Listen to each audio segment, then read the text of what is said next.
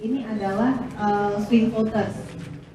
Ahok Jarot tidak ada di opsi uh, pasangan koalisi Partai PDI, Golkar, Nasdem, dan Hanura Sandiaga. Mungkin kami akan lanjutkan dengan diskusi.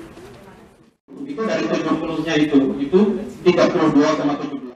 Jadi uh, berdasarkan elektabilitasnya, Ahok Jarot 45,5, Anies Sandi 23,5, begitu pun juga Agus Silvi dan ini undecided voters.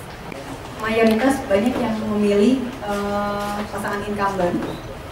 Jadi 100% dari 100% yang paling banyak itu lulus SD ke bawah, SMP sampai SMA dan akademi ke atas itu paling banyak memilih pasangan incumbent.